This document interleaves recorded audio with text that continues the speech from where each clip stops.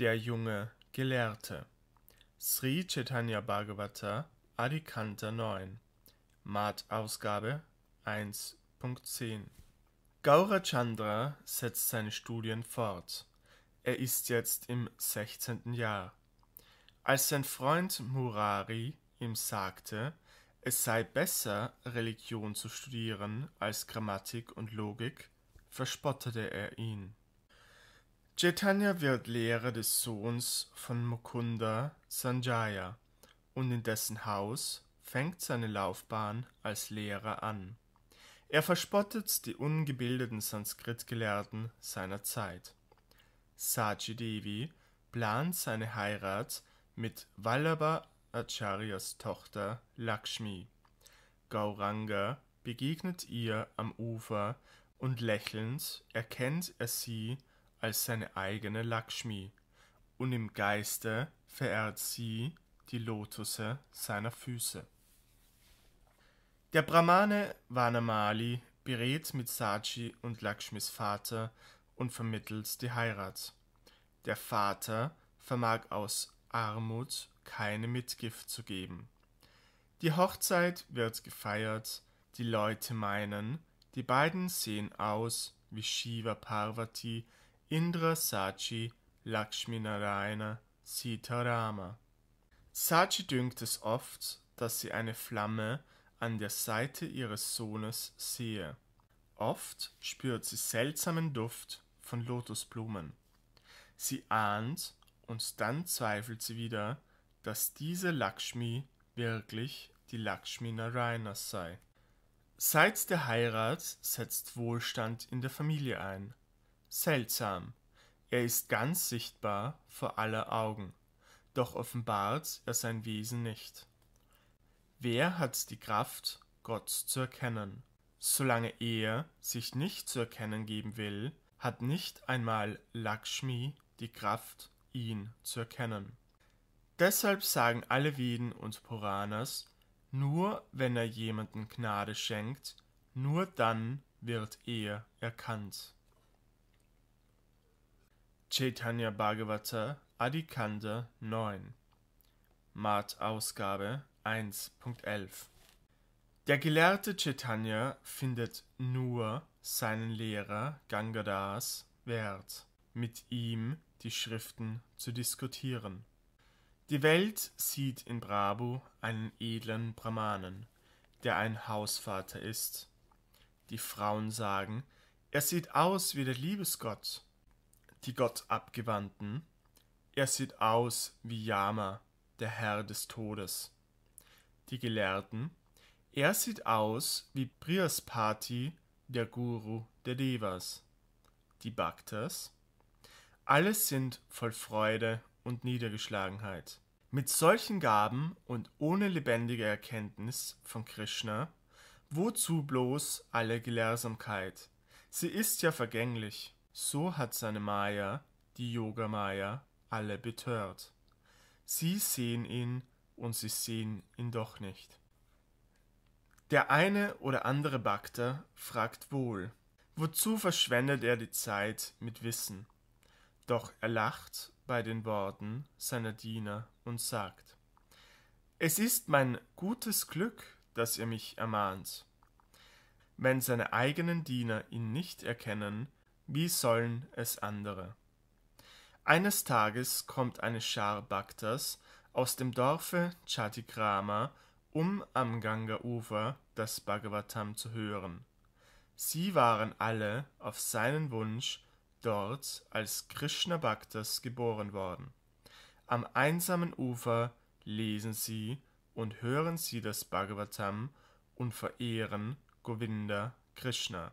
Einer von ihnen ist ein Sänger Mukunda und die Bhaktas von Navadvip gehen mit Advaita hin, hören zu und in Ekstase weinen alle, tanzen, lachen und einige fallen dem Mukunda zu Füßen. Alle vergessen die Welt. Chaitanya kommt, im Herzen voll Freude über Mukunda und verwickelt Mukunda und die anderen in ein Wortgefecht über logische Lücken und alle werden von ihm besiegt. Doch Shrivas und die anderen Bhaktas laufen davon. Argumentieren ist Zeit- und Wortverschwendung. Sie alle haben nur Interesse an Krishna. Doch wo Krishna nicht erklärt und dargestellt wird, haben sie keine Freude. Chaitanya fährt fort, die Vaishnavas mit Argumenten zu verwirren und macht sie lächerlich, wenn sie verlieren. Das führte dazu, dass sie alle wegliefen, sobald sie Prabhu auch nur aus der Ferne sahen. Eines Tages sieht Prabhu den Mukunda am Ufer. Mukunda eilt schnell fort. Chaitanya fragt den Govinda, warum läuft der Bursche Mukunda fort? Govinda sagt, er wisse es nicht. Doch Chaitanya Deva sagt zu Govinda, ich weiß wohl, warum er flieht. Mit Gott Abgewandten soll man nicht reden. Er liest und erklärt die Vaishnava Shastras, ich jedoch bloß Logik, Grammatik und so weiter.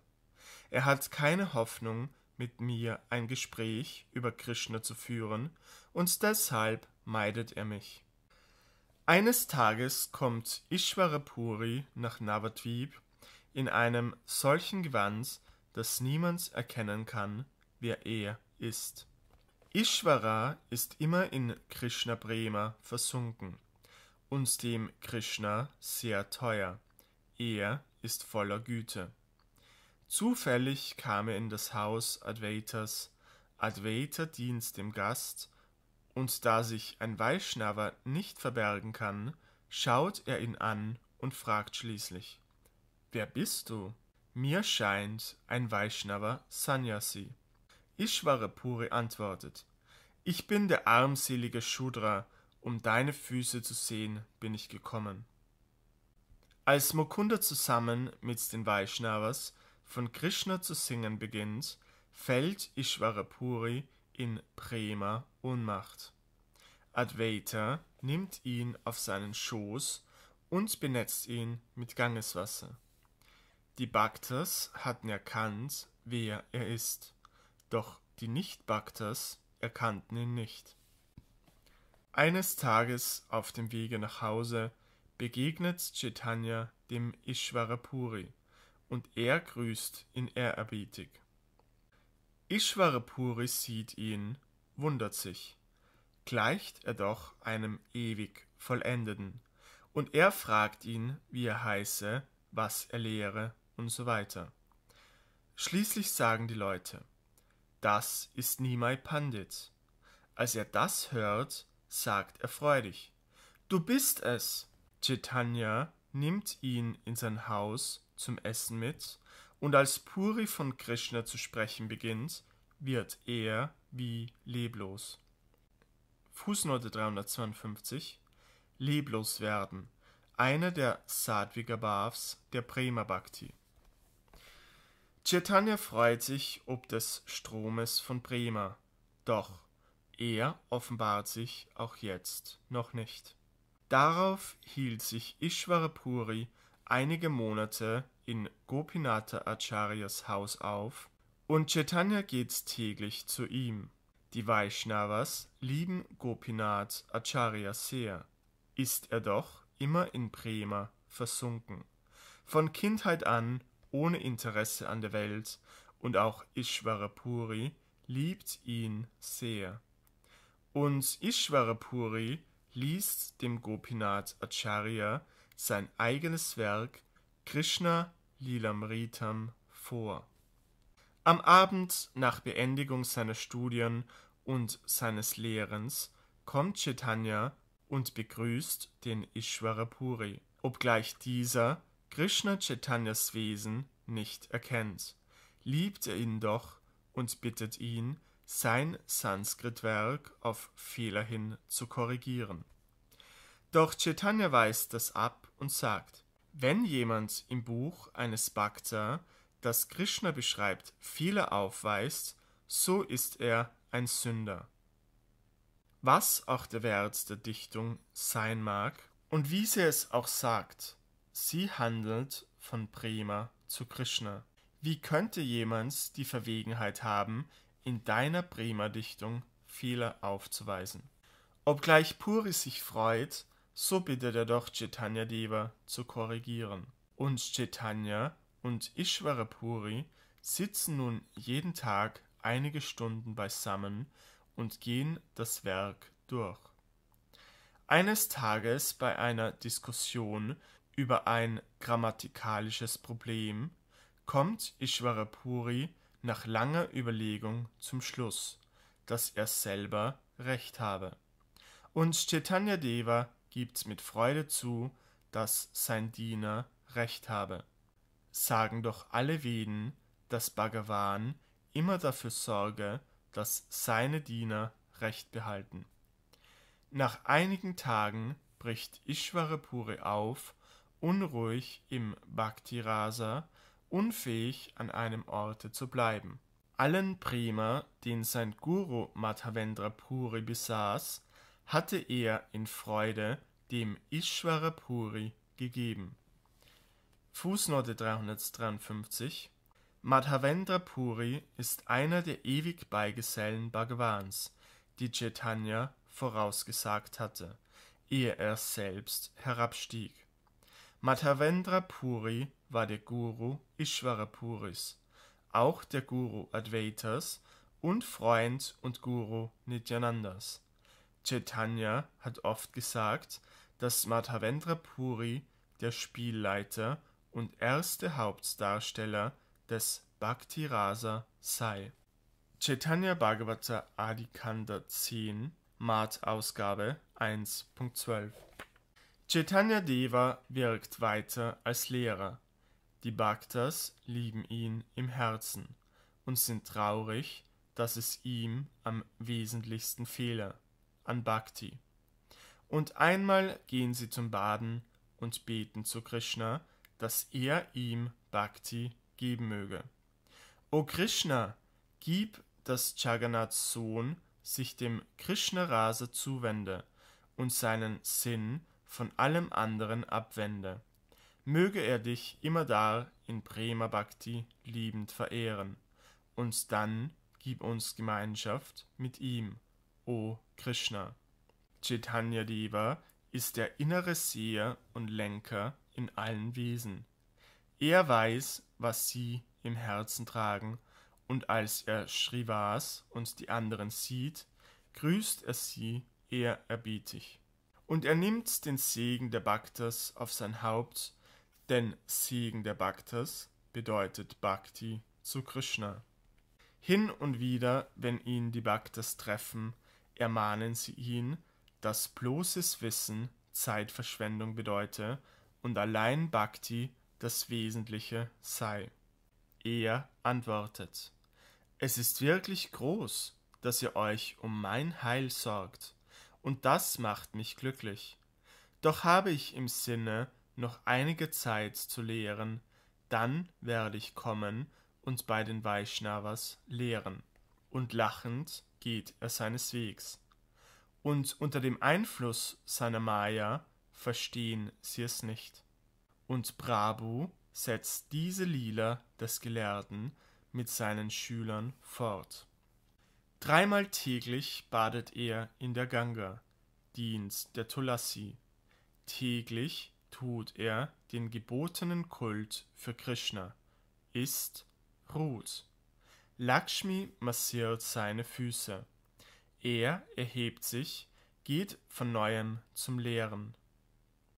Obwohl niemand weiß, wer er ist, so lieben sie ihn doch alle und geben ihm ihre Waren, ohne Rücksicht darauf, ob er bezahlen könne und ohne eine Schuld zu buchen. Der Tuchmacher gibt ihm Tuch, die Kuhhirten geben ihm Milch und Butter, die Parfumhändler geben ihm Parfum. Die Blumenverkäufer schenken ihm Blumen. Der Betelhändler gibt ihm Betel. Alles ist wie eine Wiederholung seiner Lila als Krishna in Mathura. Vergleiche Bhagavatam 10.41.40 bis 52. Prabhu geht zu dem armen Sridhar, der die Stämme und Blätter der Bananenstaude verkauft, und fragt ihn: Du singst immer Hari, wie kommt es, dass du Armut erleidest? Du dienst dem Herrn, der Lakshmi, der Göttin des Reichtums, und doch bist du arm, hast weder Reis noch Kleider. Schau her, alle, welche die Vishari und die Chandi, Aspekte der großen Maya der Welt verehren, die haben alles, denen fehlt es an nichts. Fußnote 356 Er will den Shridhar verlocken, die Devas und Devis zu verehren, da es ja offensichtlich sei, da es denen, die solch Verehrung üben, an nichts fehle. Shridhar Brahmane, das stimmt schon, die anderen haben keinen Mangel, doch am Ende des Lebens werden sie alle gleich, jeder genießt die Frucht seines eigenen Tuns nach dem Willen Gottes. Chaitanya Du hast sicher verborgenen Reichtum im Hause und ist heimlich. Es ist schon lange bekannt. Fußnote 357 Shridhars Reichtum ist sein Reichtum an Prema Bhakti. Shridhar Gut, komm in mein Haus und sieh selbst. Ich will mit dir nicht streiten. Chaitanya Ich kann dich jetzt nicht loslassen. Was wirst du mir geben? Sag. Shridhar. Ich lebe vom Verkauf des Bananenstammes. Sag, was du haben willst. Chaitanya. Von dem Reichtum, den du in deinem Hause hast, soll später die Rede sein. Gib mir Bananen, die Wurzel, das Innere des Stammes, doch gib es umsonst. Shridhar im Herzen. Das ist ein gar kühner Brahmane. Und Sridhar sagt zu ihm, Du kannst nehmen, was du willst, ich werde keine Schuld aufschreiben. Nimm und lass uns nicht streiten. Prabhu nimmt, was er verlangt hat, und täglich wird in seinem Hause das gekocht, was er von Sridhar erhält.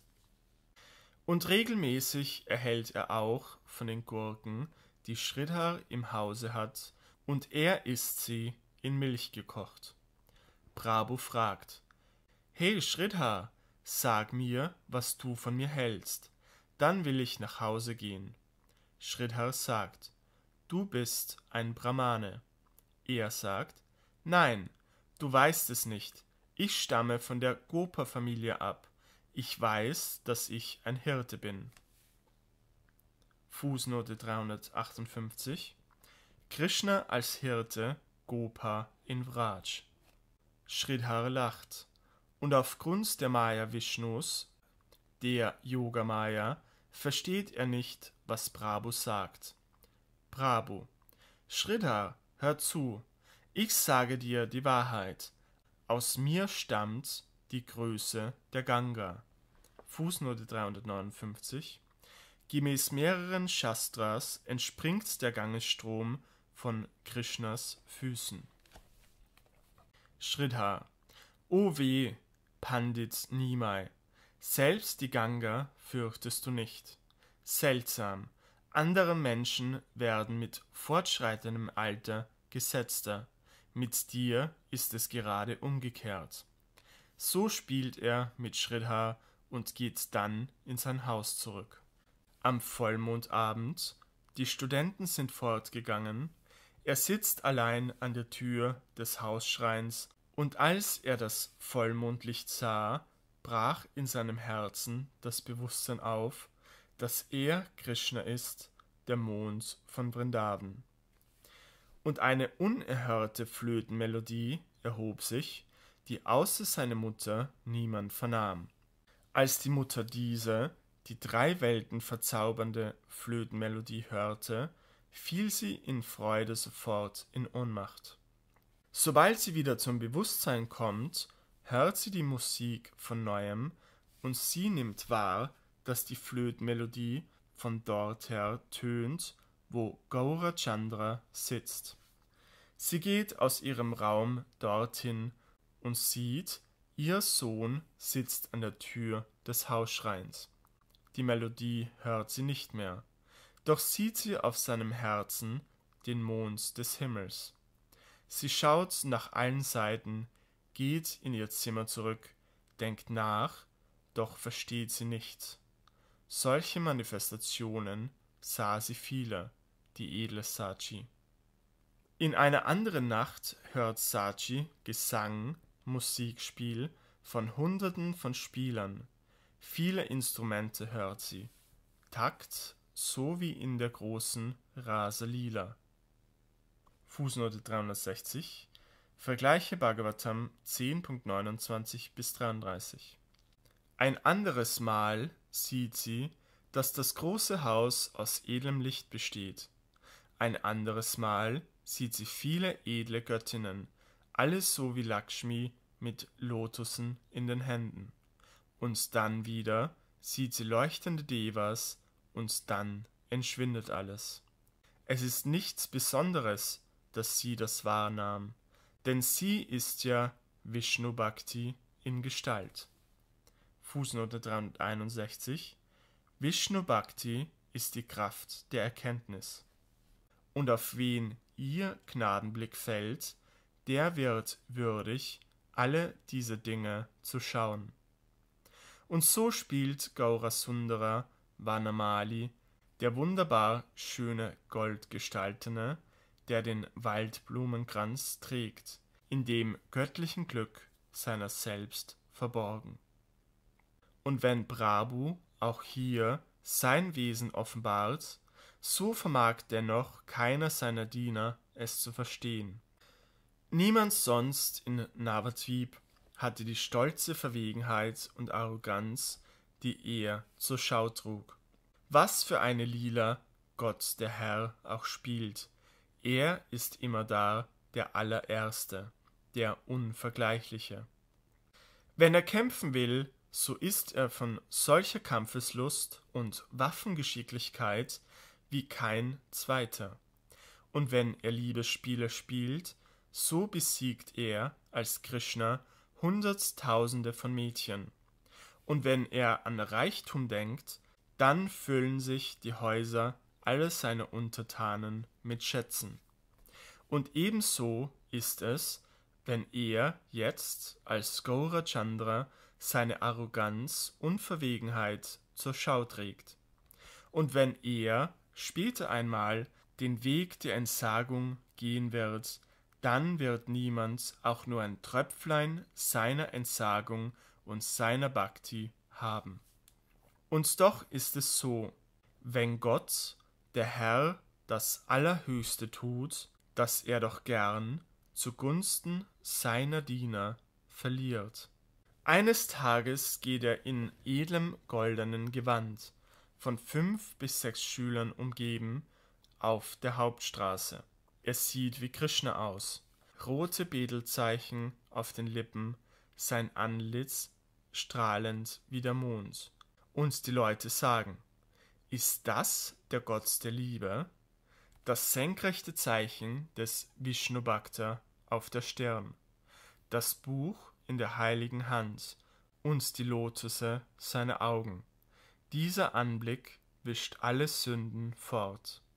Von seinen Schülern umgeben, schreitet er dahin, die Arme leicht schwingend. Da begegnet ihm zufällig Shrivas Pandit. Der lacht, als er ihn sieht. Bra begrüßt ihn ehrerbietig, der edle Shrivas sagt, dir sei ein langes Leben. Dann sagt Shrivas lachend, Sag an, wie lange soll es so weitergehen, du Stirnjuwel von Vergangenheit und Arroganz, immer die Zeit verschwendend, ohne Krishna zu verehren. Warum lehrst du Tag und Nacht? Wozu lernen die Menschen, wenn es nicht ist, um Krishnas Wesen kennenzulernen? Wozu dann alles Wissen? Bis jetzt hast du die Zeit auf etwas ganz anderes verwendet. Nun gibt sich ganz der Verehrung Krishnas hin. Brabo lacht. Vernimm, O Pandit, mit deiner Gnade wird es zweifellos schon so werden. Und lachend ging er mit seinen Schülern zum Gangesufer, sitzt am Strand von seinen Schülern umgeben. So wie einst der Sohn Nandas mit seinen Hirtenknaben am Yamuna-Ufer spielte. So spielt er, der Krishna Chandra, Krishna Mons, nun in Gestalt eines Brahmanen mit eben diesen Hirtenknaben am Gangesufer. Prabhu fordert alle Gelehrten heraus und besiegt sie. Täglich strömen ihm neue Schüler zu, endlose Scharen. Vrindavan Das, der Autor des Chaitanya Bhagavata, bittet: Mag mir von Geburt zu Geburt das Bild dieser Lila im Sinne bleiben. Und Nityananda, auch du, tue mit deinen ewigen Begleitern deine Lila und lass mich dein Diener sein.